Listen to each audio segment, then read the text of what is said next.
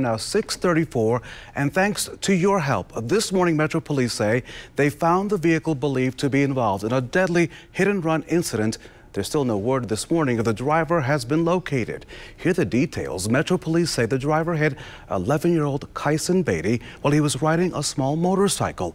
The crash happened around 4.30 Saturday afternoon, this near Wicker Road and Tibbs Avenue. Now, police tell us that tips from you, tips from the community, led investigators to the vehicle involved in the crash. Beatty was a sixth grader and an athlete at Perry Meridian Middle School. And this morning we are joined via FaceTime by his dad, Carl Beatty. Carl, thank you for joining us this morning on Good Morning Indiana. First of all, from all of us here at WRTV, our condolences to you and your family. How is the family doing this morning?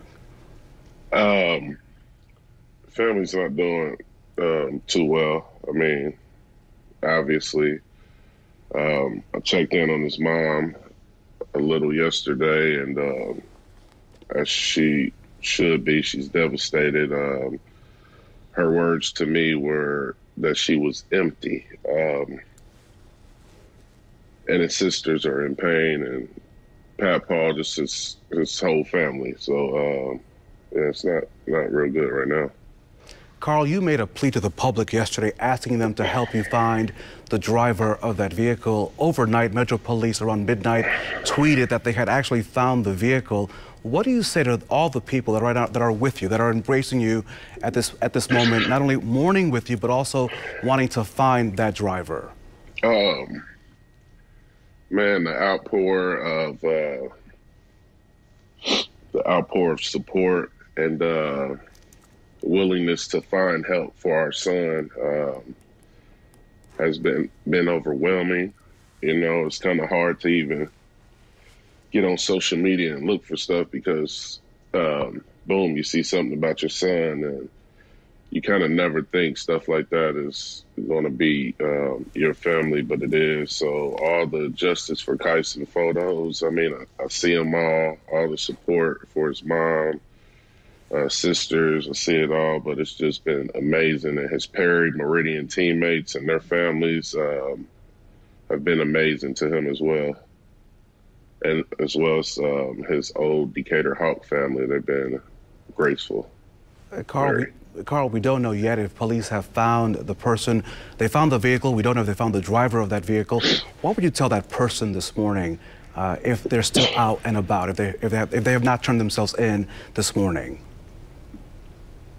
You know the heat is on. Uh, unfortunately for you, you you hit the wrong child. So um, right now you're on the clock, man. So see you in court soon. I, I guess. It's, I mean, it's not really the justice I feel, but I mean, the law enforcement is doing their work and they're doing a good job. In your pain, I would imagine that you find some comfort at this point in the memories of your amazing young man who was 11 years old, a sixth grader. Just your thoughts this morning about this young soul that brought so much to you, uh, family and friends. Um, there's there's really no um, amount of comfort comfort right now, um, especially when you have pictures and videos. Um, I mean, it's hard. I'll have it'll be normal, and then I have a, a shutdown moment. But um, he was a great kid.